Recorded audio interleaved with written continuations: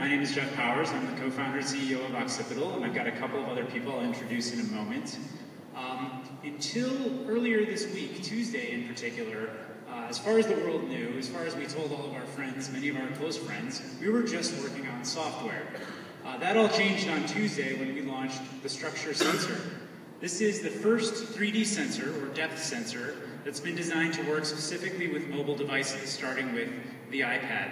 So we're really excited to, uh, to have launched that sensor on Kickstarter, and uh, we're also really excited to um, demo it. So we've been really appreciative of all the support we've gotten from the Boulder, Denver community, and so this is going to be the first ever public demonstration of the structure sensor. So I hope you guys enjoy. I've got um, I've got Kai Lin here and Vikas Reddy.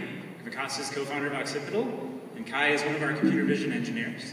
Here's our iPad screen. So Kai is going to demonstrate uh, object scanning with the structure sensor. Again, the first time we've ever shown this to the world.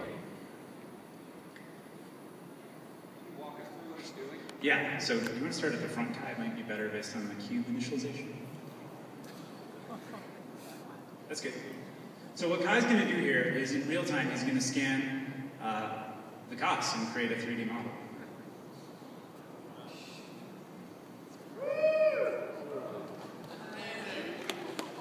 That's pretty, uh, typically a lot harder than this.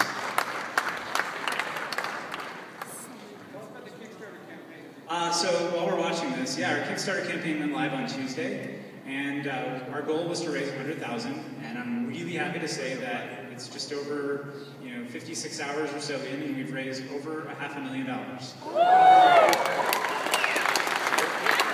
Okay, so here's the model that Kai just captured. You can actually look at the geometry of it with the X-ray light. And we don't, have, we don't have time for it right now, but we could actually push that Shapeways button at the bottom, the purple, and that would actually upload this model to Shapeways, and you could get a 3D a replica of the cost sent to you in the mail, which is pretty cool. So we've got two other quick demos. The next one is what we call fetch. So now we're going to scale it up a bunch, and we're going to actually scan a larger space. So Kai is going to scan, uh, initialize the game world on top of these chairs. So in real time, we are importing these chairs and using them as a game world. Okay, now we'll start there, that's good. Okay.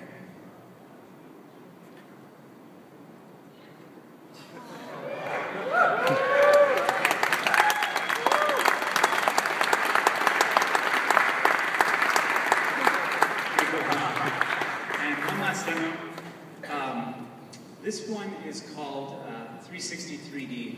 So not all of you guys got to go backstage, um, but we did, and so we're going to share that with you. Okay, so this is backstage. Um, right, we're starting out, and basically this looks a lot like a panorama, right?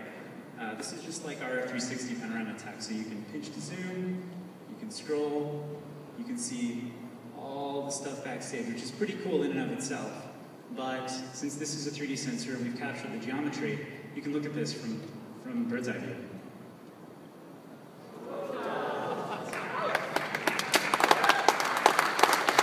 And we can look at the geometry of backstage. So, so that's our demo. So we're super happy to be here and super uh, psyched to be launching the structure sensor. If you guys haven't checked it out, go on Kickstarter, search for structure sensor, you'll find it. Um, thank you so much.